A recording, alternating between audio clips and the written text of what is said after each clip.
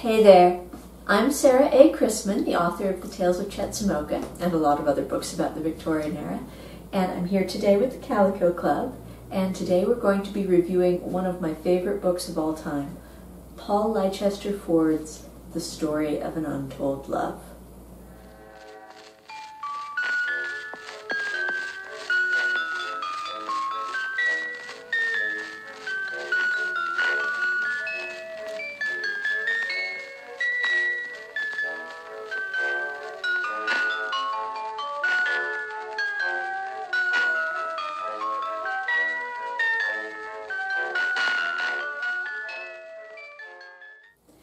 Now, before we get started on the book, I want to tell you just a little bit about its author because he had a tragically short but pretty fascinating life.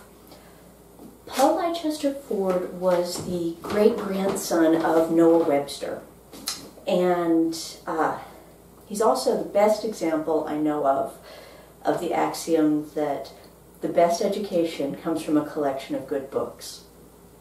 Now, an early spinal injury kept Paul from going to school. Some people say his spine was injured when he was born. Some people say it just happened when he was very young. But in any case, the key thing to remember is that he wasn't able to go to school. His sister tutored him for a while in um, English, French, Greek, and American history, but then she got married. So she moved out, and he was left to his own devices to get his own education from the family library.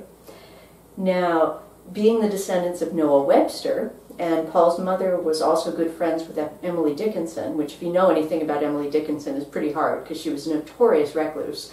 Anyhow, the Fords had an amazing library, very much like the library of the main character in the book which is part of why I love this book so much. There are a lot of semi-autobiographical elements in it.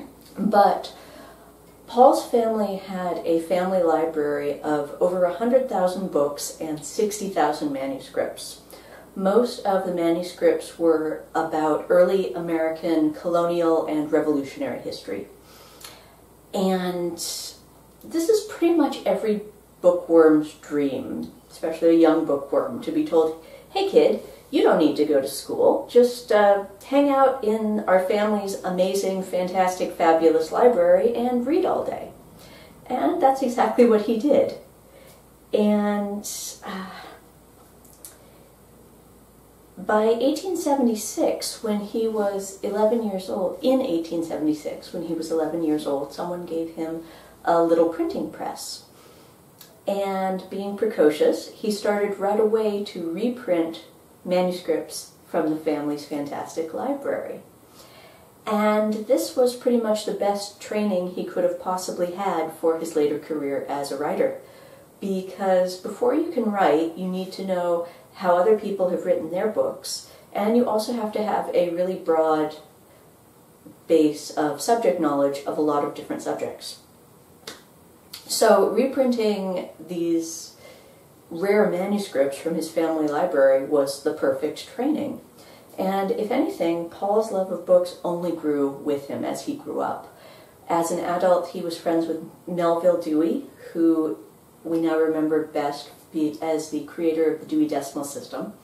Paul was also a correspondent of Mark Twain and Rudyard Kipling, along with a lot of other literary greats.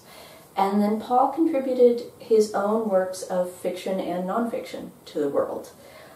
Then, tragically, when he was 37, Paul was shot and killed by his own brother. Very sad. Malcolm Ford was sort of the black sheep well, not sort of, he was the black sheep of the Ford family. He was a jock in a family of academics, and uh, he never really worked out a way to make any money from athlete athletics. So he was just always mooching off of his other relatives. And when Paul finally told him, I've given you enough money, I'm not giving you any more money, Malcolm took out a gun and shot him through the heart and killed him. Then Malcolm shot himself. So just terribly tragic. A terribly tragic end to a really amazing writer, and I can only imagine what other books he would have contributed to the world if that hadn't happened. It's very sad.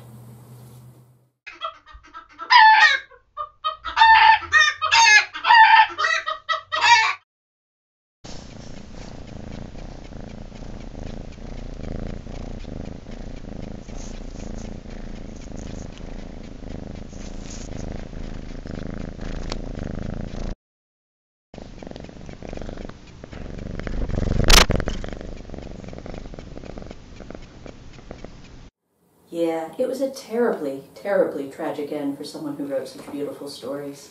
Uh, shall we get back to the one that we read?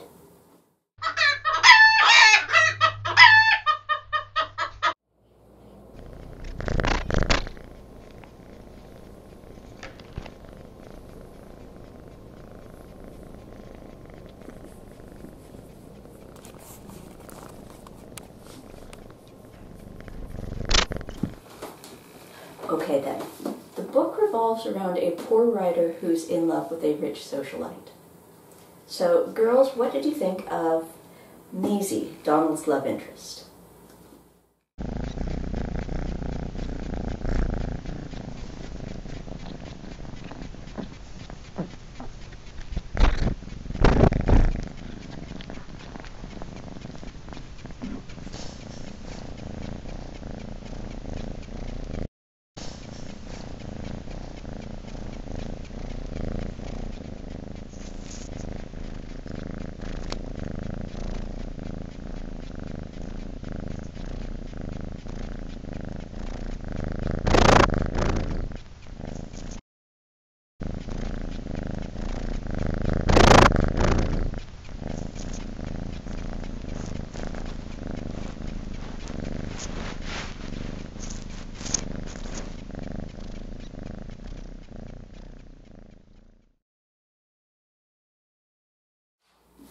Let's stick with the story, girls.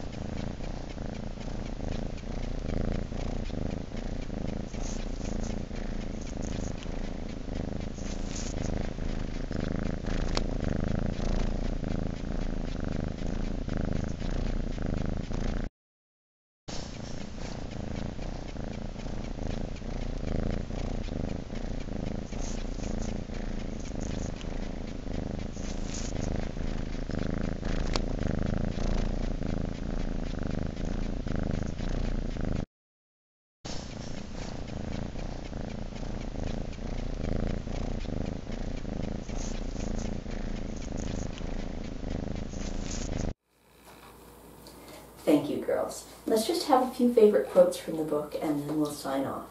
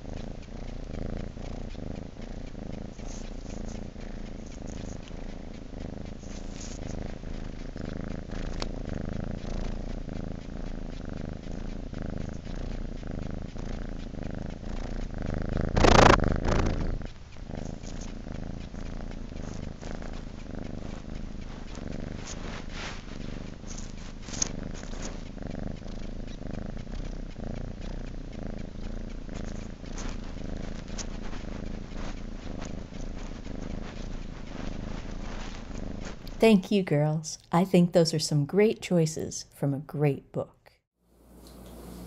Thank you for watching today. I hope you enjoyed this video. If you did, please remember to give it a nice thumbs up and remember to tell your friends about the Calico Club and about my books. Book 8 in the Tales of Chetzemoka, A Bumpy Road to Marriage, just came out, and I hope you will love it as much as I loved writing it. Happy reading!